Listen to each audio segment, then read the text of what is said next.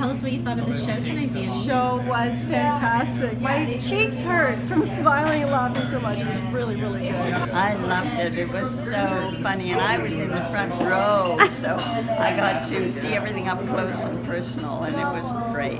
So we just left Klusterfork, and I have not laughed that hard in a very long time. It was so good. Such talent in this city. It was wonderful. I had a great time tonight. I would definitely recommend it. It's great fun if you come with your friends. Super funny and lots of laughs.